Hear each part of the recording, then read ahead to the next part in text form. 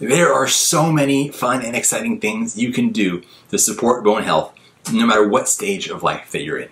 One of the first ones I always think about is vitamin D3 and K2. Huge for bone health, and you need them both, right? Because what happens is D3 is going to really increase your absorption of dietary calcium, which is very different than supplemental calcium, by the way. You really, dietary is what's important. The supplemental stuff, it's not so, it's not so great. Uh, so the D3 increases the absorption of the calcium, and then K2 takes that calcium and tells it where to go, which is into the bones, because you don't want it going other places. Like you don't want that calcium finding its way to your arteries, for example. It's not the good place. So D3, K2 together, uh, and you can get these supplementarily. Um, we have a video about the various dietary sources of K2 if you want to dive deeper into that. Um, difficult on a vegan diet, by the way. Uh, and then, you know, D3, nothing's better than the sun. If you can, uh, you know, crank open the, the D-Minder app, get out in the sun, and know exactly how much vitamin D you're making for the time you spend out there, it, it, it really, it's a fun way to kind of gamify it. And, and it's cool to know how much you're making and where you're at in terms of your vitamin D levels. And then in another direction, uh, weight bearing exercise.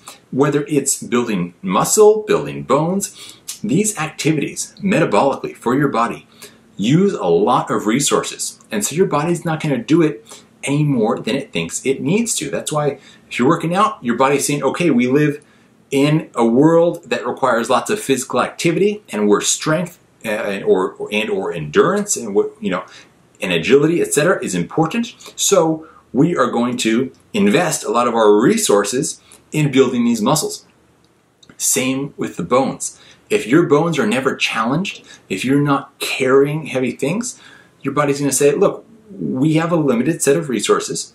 We can use these for various things.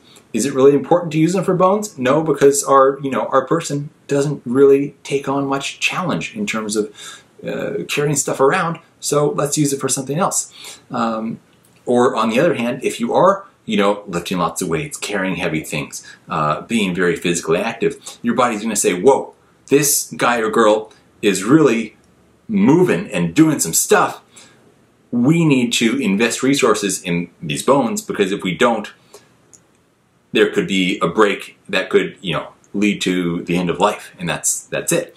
Uh, so, showing your body through your actions that having strong bones is important to you, and then protein consumption generally. Uh, you know, so many people don't get enough protein or, or, a wide enough variety of amino acids or a complete set of amino acids in the right balance. So this can be a problem as well because half of bone structure is made up of proteins.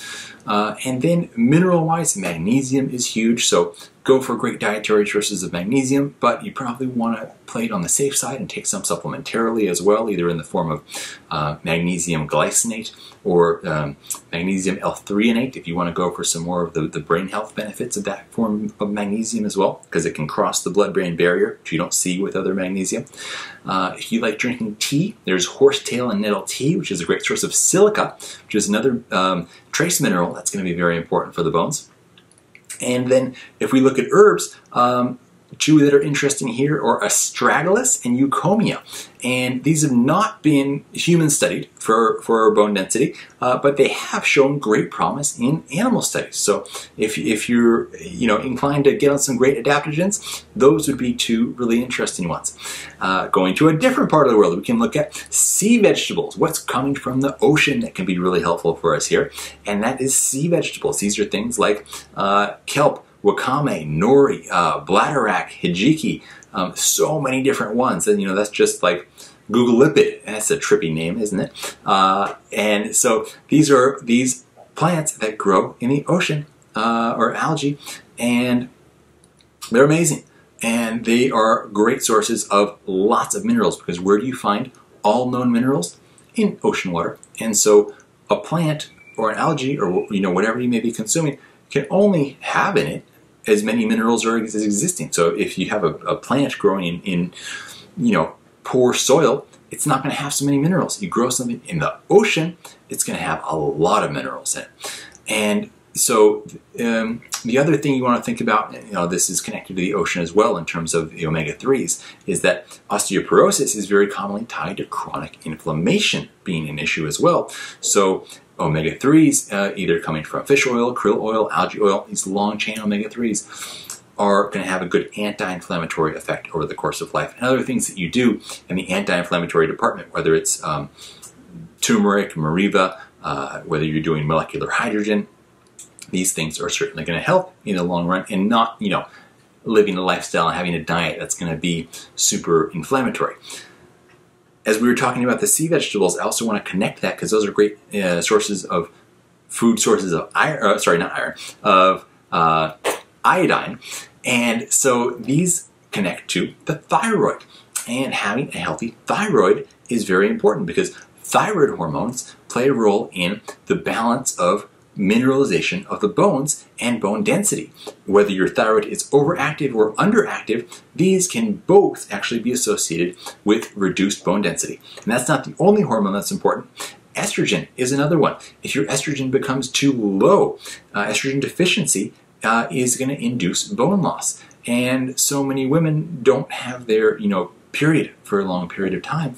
And the longer a woman goes without a period, bone loss happens more and more and more. You learn, you lose a certain percentage of bone density every year that you're going uh, without a cycle, whether you're in that state because maybe you've been under extreme stress or trauma, or you just don't have enough body fat going on, other things that can be causing it, whatever level of hormone imbalance may be the case. That's really something to prioritize in your life. And if that's the case, you know, please put that in the Q&A. If you're dealing with something like this, uh, it's one of my most passionate topics to discuss. Uh, so I would, I would love any excuse to go down that rabbit hole.